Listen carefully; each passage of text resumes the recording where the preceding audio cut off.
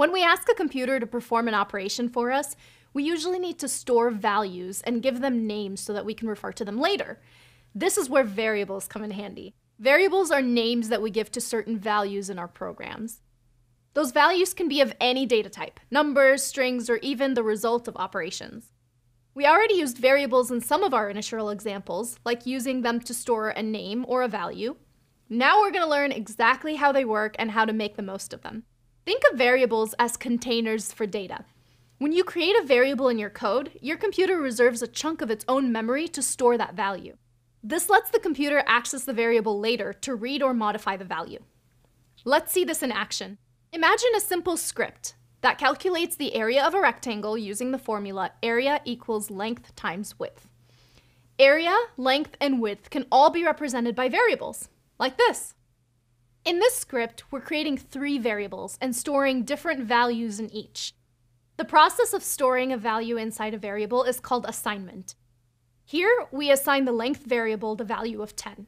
We assign the width variable the value of 2, and we assign the area variable with the result of the expression length times width.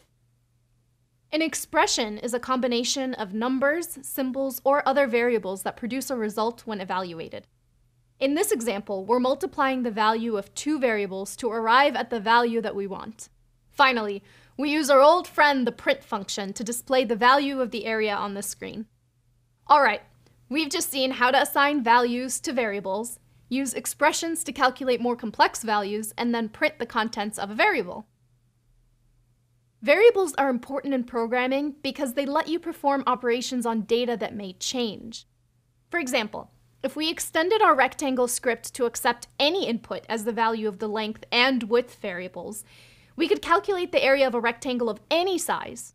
Or to give a more IT-focused example, say we have a script that performs a specific operation on a file. We could extend that script to perform the same operation on any file, but only if the program used a variable to store the file name.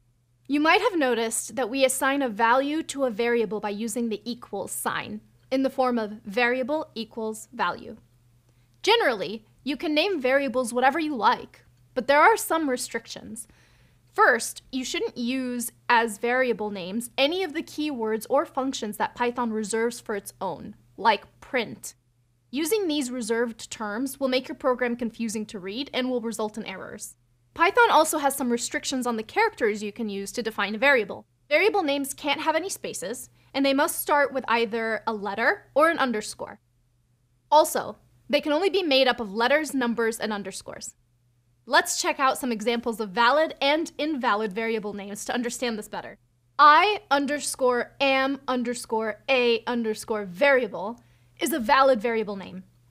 I underscore am underscore a underscore variable 2 is also a valid variable name one underscore is underscore a underscore number is invalid because variable names must start with a letter or underscore.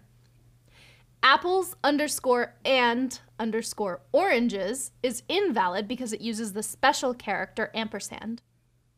Last thing, remember that precision is important when programming. Python variables are case sensitive, so capitalization matters.